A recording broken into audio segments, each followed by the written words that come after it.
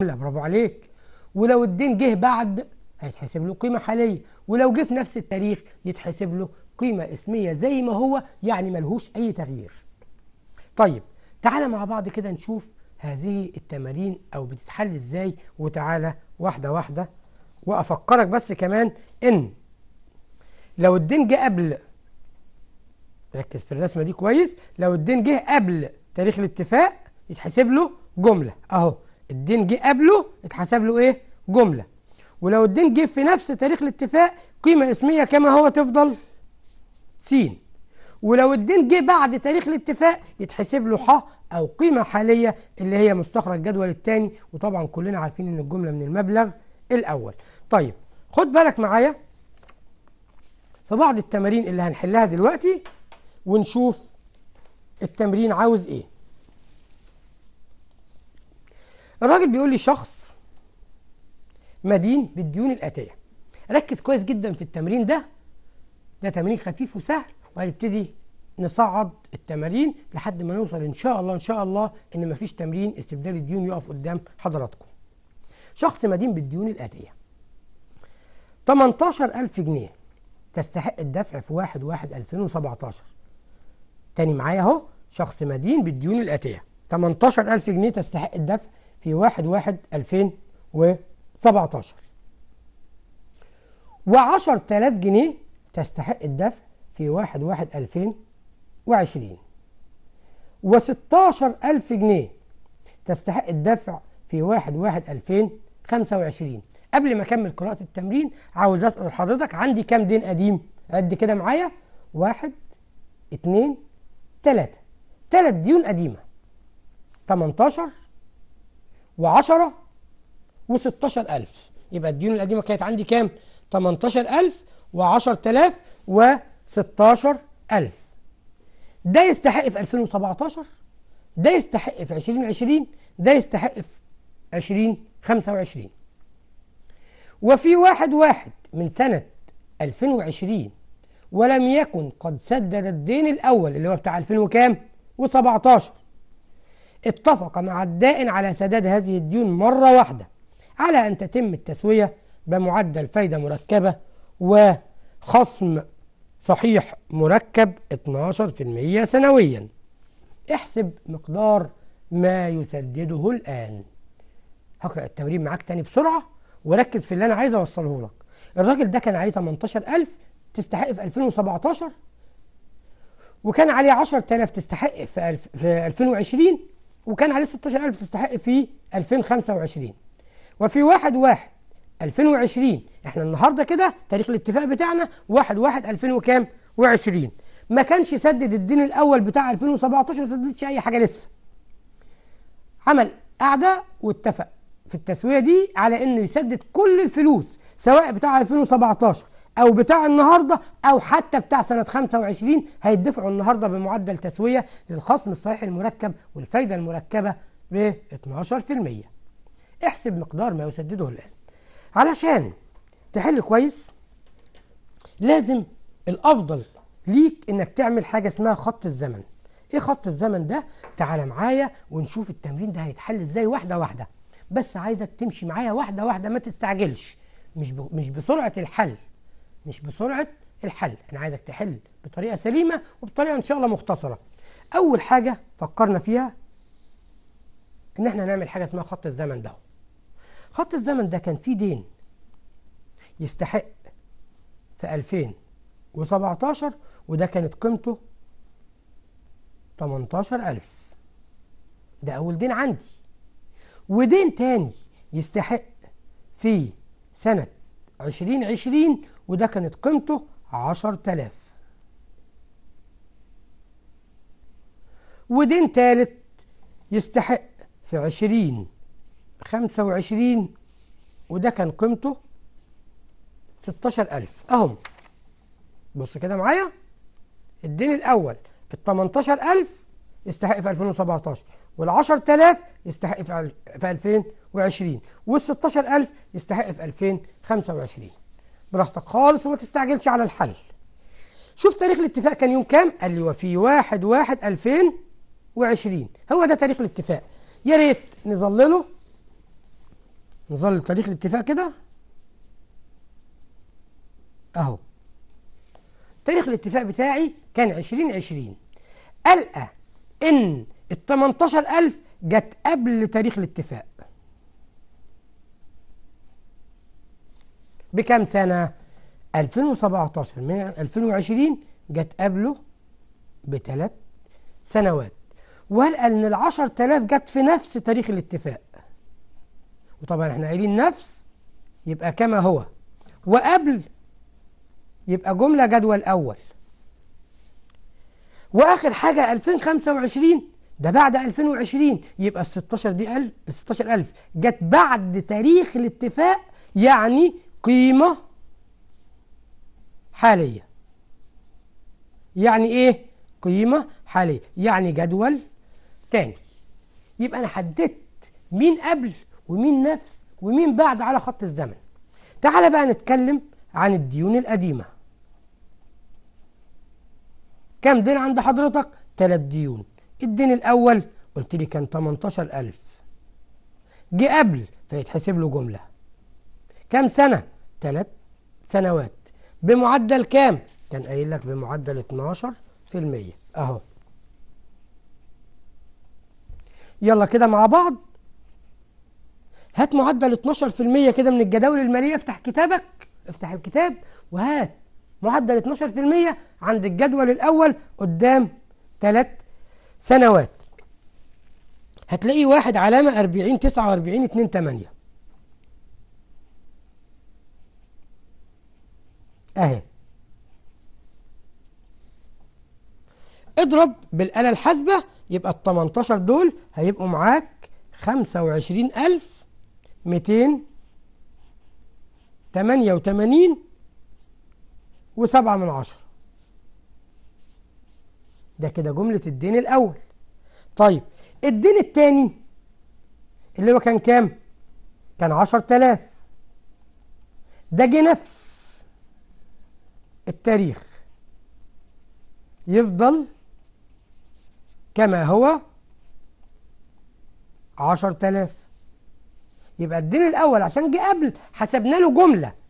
كانت قيمته 18 الجملة وصلته ل 25 288 كلام كويس جدا. الدين الثاني ال 10000 جم نفس التاريخ. هعمل إيه؟ ينزل زي ما هو. ولا جملة ولا قيمة حالية ولا أي حاجة. خلاص ال 10000 تفضل 10000 طب بالنسبة للدين الثالث يا مستر ده الدين الثالث اللي جه بعد اللي حضرتك قلت قيمة حالية يعني جدول تاني. طب بس بعد بكام سنة بقى؟ بعدها من 2020 ل 2025 خمس سنوات. يبقى دي كده كان الجدول الأول. يبقى ده 16000 في الجدول الثاني اللي هو عند خمس سنوات وتحت 12 في المية. يبقى هتقول لي ال 16000 دي لما أجيب مستخرج جدول 2 يطلع عندي تحت 12 قدام 5 يطلع علامة 5 6 7 4 2 6 8 اضرب بقى بآلتك 16000 في علامة 5 6 يطلع معاك 9078 علامة 8 من 10 أو 82 من 100 ده كده قيمة المبلغ الأول القيمة الحالية جملة المبلغ الأول والقيمة الاسمية للتالي والقيمة الحالية للمبلغ الثالث أنا كل اللي عاوزه منك كنت عايز أعرف مقدار ما يسدده المدين. هتقول لي بقى بمنتهى البساطة مقدار ما يسدده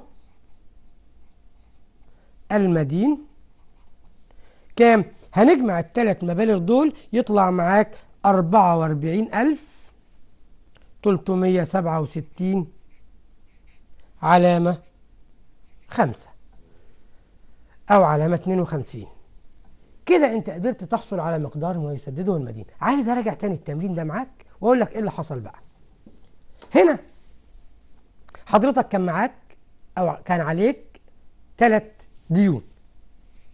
ثلاث ديون اللي عندي كانوا 18000 تستحق في 2017 و10000 تستحق في 2020 و16000 تستحق في 2025 وفي 1 1 2020 لم يكن قد سدد الدين الأول. يبقى ده تاريخ الاتفاق 2020 اللي هي بتاعت الدين اللي في النص. واتفق مع الدائن على سداد هذه الديون مرة واحدة على أن تتم التسوية بمعدل فايدة مركبة وخصم صحيح مركب 12% سنويا. احسب مقدار ما يسدده المدين. هنا الراجل عليه ثلاث ديون واحد 2017 واحد 2020 واحد 2025 اتفق مع الدائن في 2020 اللي هو تاريخ استحقاق الدين الأوسط على إنه يسددهم كلهم مرة واحدة. ففي دين كان في 2017 ما اتدفعش. يبقى هيدفع قيمته جملة عشان هو ما دفعهوش في ميعاده. يطلع 25288 بدل 18 والدين التاني في نفس التاريخ يطلع 10 الدين التالت بقى لسه ما جاش خالص. فزي ما حسبنا لك جملة هنا لازم تاخد خصم وقيمة حالية هنا. ال 16 دفعتهم كام؟ 9078 فقط. هنا مقدار ما يسدده مجموع المبلغ الأول والثاني والثالث يطلع 44367 و52 من 100 ده كان تمرين من التمارين الهامة جدا جدا بس ما كانش فيه دين جديد للمبلغ الأول.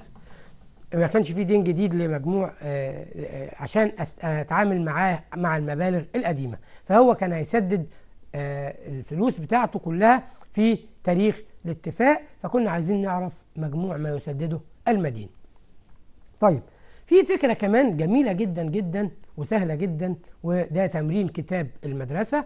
وطبعا الكتاب المدرسي هو المرجع الأساسي لأسرة التوجيه لأسرة التدريس للطالب لوضع الامتحان لأي حد في الدنيا. الكتاب المدرسي هو المرجع الأساسي بتاعنا. فما تجيبش أي أفكار من بره الكتاب المدرسي غير مكررة عليك وتحاول تحلها. لا التزم بأفكار الكتاب المدرسي لأن الكتاب المدرسي هو المرجع بتاعنا كلنا. عندي فكرة جميلة جدا. كان جايب ثلاث جايب دين آه، دينين قدام. دين قديم ودين قديم.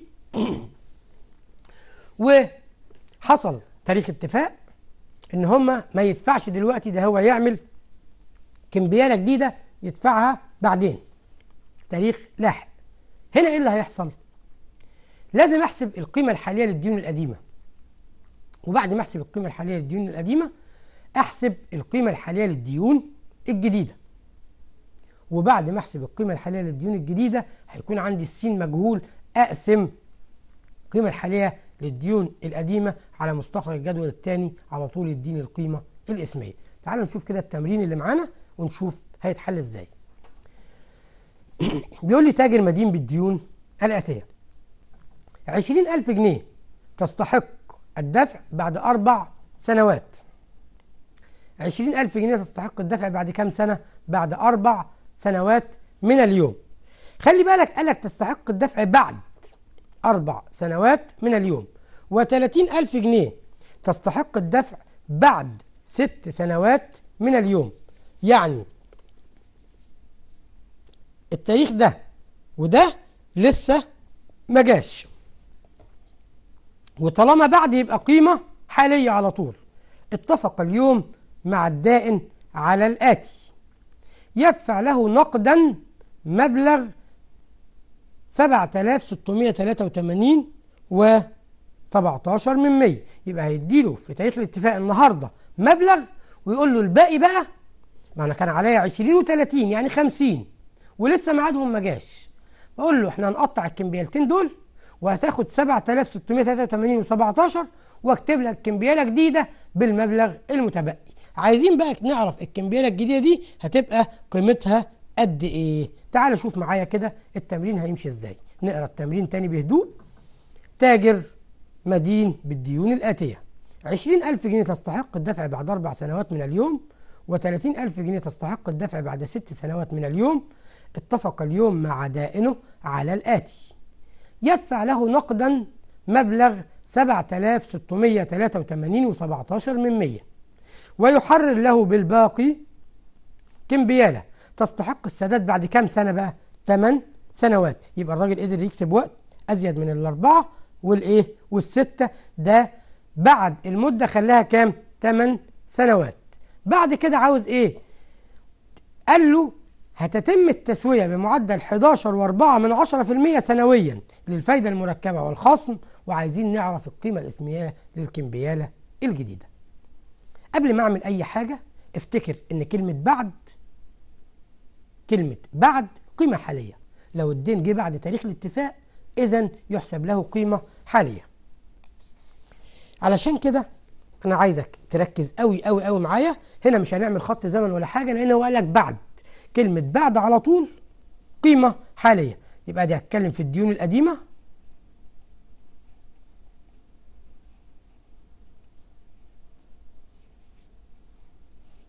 الأول جه بعد فيتحسب له ح القيمة الحالية بتاع الدين الأول حضرتك كنت بتقول لي 20000 تستحق بعد أربع سنوات أهي. يبقى دي 20000 تستحق بعد أربع سنوات. يبقى احسب القيمة الحالية عند أربع سنوات بس خد بالك المعدل 11 وأربعة من عشرة في المية. تقول لي ده مفيش مستخرج للمعدل ده تمام برافو عليك. يبقى هنا أنا كنت قاصد إن أوري لك إن المعدل 11 و4 غير موجود بالجدول.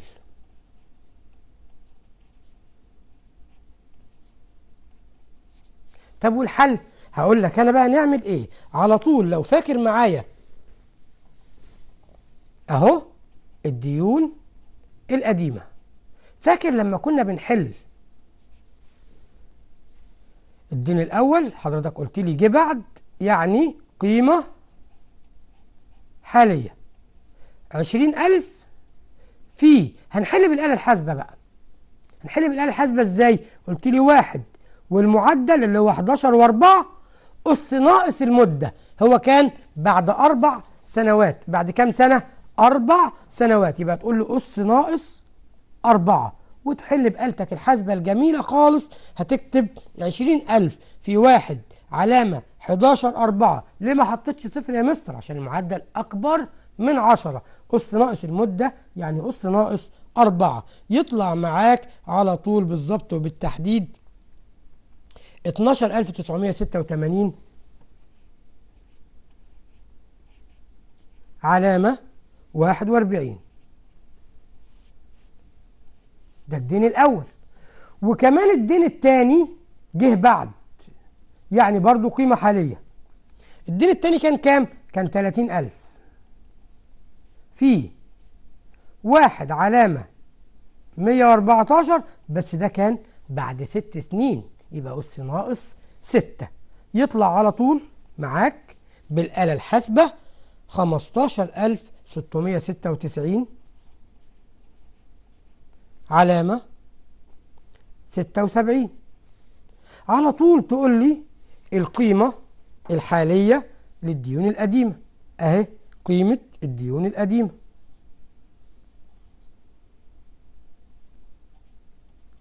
قيمة الديون القديمة. تجمع ده زائد ده. تجمع القيمة الحالية للدين الأول مع القيمة الحالية للدين الثاني يطلع 32683 وعلامة 17 من 100 قبل ما تفكر في أي حاجة قول ناقص المسدد نقدا. يبقى إن لو في مبلغ مسدد نقدا لازم يطرح. يبقى ناقص المبلغ المسدد نقدا إن وجد. هنا موجود؟ آه طبعا موجود. الراجل كان قايل لنا يدفع نقدا 7683 و17 نطرحه ده اهو.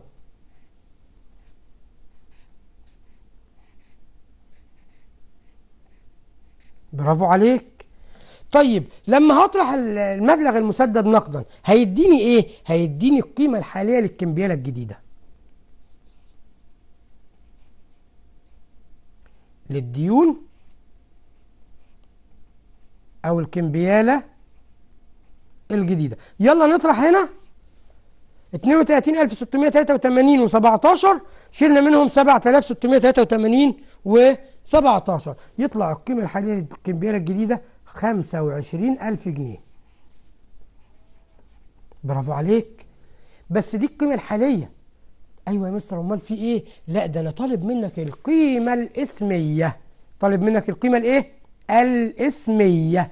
طيب أعمل إيه علشان أجيب القيمة الإسمية؟ أقول لك حالا لو عاوز القيمة الإسمية بيساوي الحالية للجديدة على مستخرج جدول اتنين أو واحد وعين أس سالب المدة الجديدة. قلت لي طب ما هي القيمة الحالية للجديدة بكام؟ وعشرين ألف على واحد علامة مية وأربعتاشر أس سالب كام سنة؟ تمن سنين على طول بالآلة الحاسبة يطلع تسعة وخمسين ألف ميتين خمسة وتسعين علامة أربعة سبعة يبقى إذا القيمة الإسمية للكمبيالة الجديدة أنت طلعت. القيمة الحالية للكمبيالة الجديدة كام؟ خمسة وعشرين ألف. دلوقتي إنما هي قيمتها الإسمية كانت تسعة وخمسين ألف ميتين خمسة وتسعين وأربعة من عشرة. دي القيمة الإسمية اللي إحنا هن... اللي هي القيمة الإسمية للدين الجديد اللي كان عاوزها. مسألة سهلة جدا وما تقلقش منها خالص خالص ولكن امشي بترتيب خطواتك في التمرين. هتلاقي نفسك بتوصل للي أنت عاوزه. عندي كمان بعض التمارين المهمة. وفكرة من أهم الأفكار اللي عندنا اللي هي ممكن يديلك الكمبيالة الجديدة كمان في التمرين يعني يديلك الديون القديمة كاملة ويديلك كمان الديون الجديدة كاملة. يقول لك أنا عاوز المبلغ المدفوع نقدا يوم الاتفاق. يعني لو هنا طلب المبلغ المدفوع نقدا أعمل إيه؟ أشتغل شغلي طبيعي جدا. الأول أحسب القيمة الحالية للديون القديمة سواء اتنين أو تلات ديون دين واحد أو دينين أو تلات ديون هحسب لهم القيمة الحالية ليهم كلهم. اللي جه قبل هيتحسب له جملة اللي جه في نفسه هيتحسب له قيمة اسمية اللي جه بعد هيتحسب له قيمة حالية. وأجمع مجموع الثلاث ديون أو الدينين اللي عندي يديني دي القيمة الحالية للديون القديمة. بعد كده أشتغل في الديون الجديدة لوحدها. أشوف القيمة الاسميه للدين الجديد في مستخرج الجدول الثاني بتاعه واشوف هيطلع كام. بمنتهى البساطة اطرح القيمة الحالية للديون الجديدة من القيمة الحالية للديون القديمة يدي لك المبلغ المدفوع نقدا. بكده تقدر تحصل على المبلغ المدفوع نقدا بمنتهى البساطة. طيب إيه رأيكم نشوف تمرين على آه إيجاد المبلغ المدفوع نقدا؟ وبالمناسبة التمرين ده مشهور جدا في الكتاب وفي الامتحانات السابقة وبعض الطلبة والطالبات طلبوا مننا إن إحنا نشرحه علشان آه يفهموه أكتر. معايا تمرين؟ سهل جدا وهنجيب المعدل بتاعه في الجدول بقى المرة دي عشان نشتغل بالجداول المالية. يبقى إحنا برضو اتدربنا على كل الأفكار فكرة الآلة الحاسبة وفكرة الجداول المالية سواء الجدول الأول أو الجدول الثاني وكل الأفكار إن شاء الله كانت معانا النهاردة سهلة وجميلة. عندي تمرين مهم جدا بيقول لي تاجر مدين لآخر بالديون الآتية. تاجر مدين لآخر بالديون الآتية. 15000 جنيه تستحق الدفع في واحد واحد 2008 وعشرين ألف جنيه تستحق الدفع في واحد واحد ألفين وحداشر. وخمسة وعشرين ألف جنيه تستحق الدفع في واحد واحد ألفين وخمستاشر. خد بالك بقى من التاريخ. وحتى واحد واحد ألفين واتناشر تمام ولم يكن قد سدد الدين الأول اتفق مع الدائن على يدفع له نقدا مبلغ ما ما نعرفوش. المبلغ المدفوع نقدا مجهول أهو.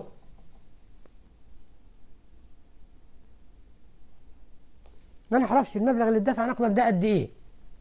ويحرر له كمبيالة قيمتها الإسمية أربعين ألف جنيه تستحق الدفع في واحد واحد ألفين وستاشر. وتتم التسوية بمعدل فايدة مركبة 12% سنويا وبمعدل خصم صحيح مركب 11% سنويا. يبقى لو الدين قبل هيتحسب له معدل فايدة كام؟ 12 لو الدين بعد هيتحسب له معدل خصم كام؟ 11 خد بالك من الفكرة دي كويس قوي. أوجد المبلغ المدفوع نقدا. تعالى معايا كده وركز في التمرين السهل الجميل ده اهو. إحنا عايزين نشتغله إزاي؟ أول حاجة فكرك بيها إن لازم نعمل خط الزمن. لازم نعمل خط الزمن. الراجل بيقول لي 15000 جنيه. أهي 15000 جنيه. تستحق الدفع في 1 1 2008 يبقى أقول له هنا دي سنة 2008 وكانت بتستحق فيها 15000 جنيه. و20000 تستحق في 1 1 2011 آدي 2011 كان يستحق فيها عشرين ألف. وخمسة وعشرين ألف تستحق الدفع في واحد واحد ألفين وخمستاشر.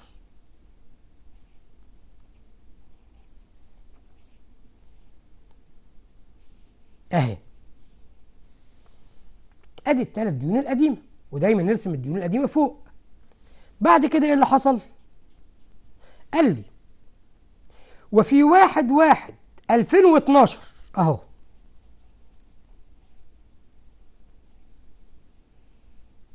ده تاريخ الاتفاق أو التسوية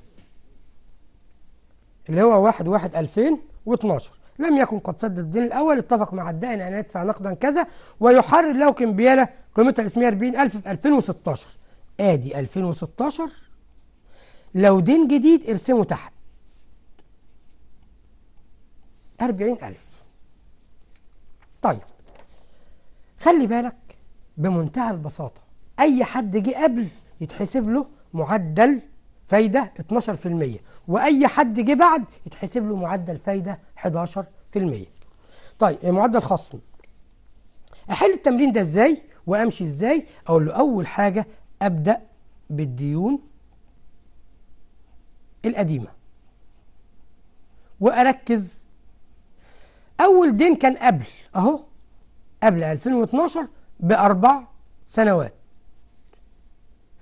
والتاني كان قبل 2012 بسنة وحيدة بسنة وحيدة طيب هنعمل إيه هنا أقول لك بالراحة خالص وامشي مع التمرين بمنتهى البساطة وشوف الدين الأول هيتحسب له جملة علشان قبل يبقى 15000 في جملة كام سنة؟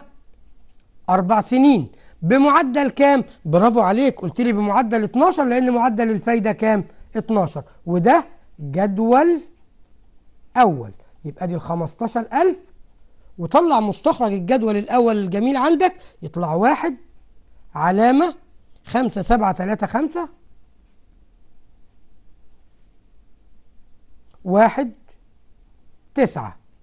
يطلع بالظبط وبالتحديد تلاتة وعشرين ألف ستمية واتنين. علامة سبعة تسعة. انت كده جبت الدين الأول وعرفت إن هو قبل فجيب جبت له جملة أهو. ده تاريخ التسوية أهو. ده جه قبله.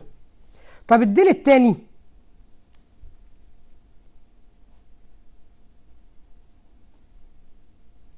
برضه جه قبل. يبقى يتحسب له جملة هو كمان. يبقى عشرين ألف. تعالى نحسبه بلون تاني. عشرين ألف. في مستخرج الجدول الأول عند سنة واحدة بمعدل 12% ما هو من 2011 ل 2012 سنة واحدة. أما من 2008 ل 2012 أربع سنوات. يلا طلع مستخرج الجدول الأول. قدام سنة تحت 12% يطلع واحد واتناشر. اضرب اتنين وعشرين ألف وربعمية. لسه فاضل دين قديم اللي هو الدين التالت. الدين الايه؟ التالت. بس ده جه بعد. يبقى يتحسب له قيمة حالية. هتقولي الدين التالت كان خمسة وعشرين ألف؟ في قيمة حالية. كم سنة بقى؟ من 2015 ل 2012 ثلاث سنوات. بس بمعدل كام؟ برافو عليك. اوعى تحسب 12% ليه يا مستر؟ لأن هنا بمنتهى البساطة الراجل لما جه يكلمك في المسألة قال لك إن اللي يجي قبل احسب له فايدة ب 12 واللي يجي بعد احسب له خصم بكام؟ ب 11 فده جه بعد فهيتحسب له خصم ب 11 في المية. وده جدول تاني. طيب الجدول التاني تحت 3 قدام 11 تحت 11% قدام 3 يطلع علامة 7 3 11 9 1 اضرب بالآلة الحاسبة يطلع 25000 في علامة 7 3 11 9 1 يطلع الكلام ده مع حضرتك ب 18279 علامة 78 طيب كده معاك كام دين قديم انت جبت قيمهم؟ قلت لي الثلاث ديون القدام. هتقول لي بقى الحالية للديون القديمة. أجمعهم. أهو. ده زائد ده زائد ده. يطلع معاك كام؟ على طول أربعة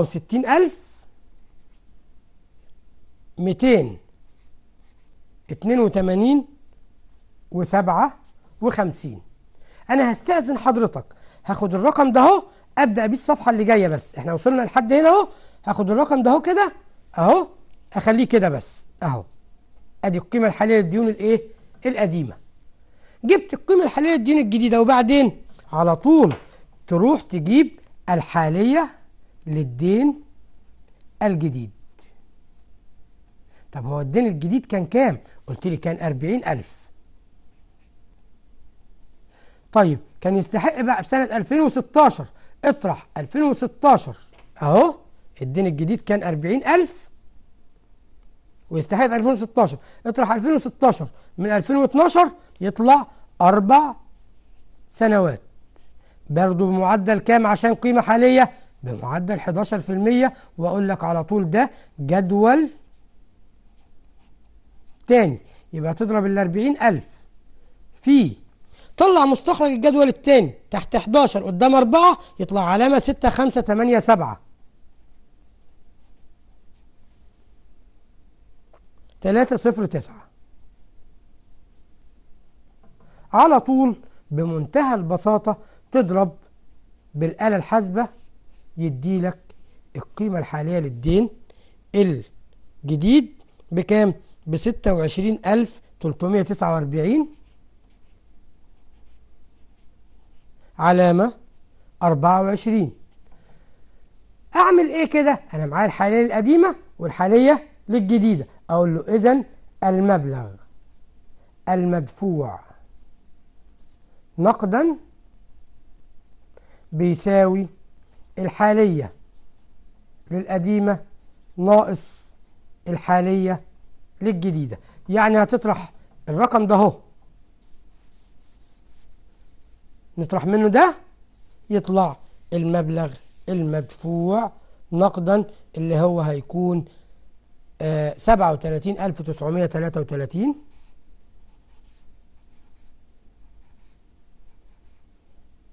علامة تلاتة وتلاتين. يبقى إحنا أنا عارف إنه تمرين كبير شوية بس لو رتبت أفكارك ومن الأول بدأنا بالديون القديمة حسبناها وبعدين حسبنا الديون الجديدة وبعدين طرحنا القديمة من الجديدة يطلع المبلغ المدفوع نقدا. آه مسألة استبدال الديون من المسائل المهمة جدا جدا جدا. فكرتها قايمة إزاي تفهم أو انك تفهم آه الدين ده يتحسب له جملة ولا يتحسب له قيمة حالية؟ لو طلب ودي المسألة دي مهمة جدا لو طلب مبلغ مدفوع نقدا على طول لازم تفكر الأول.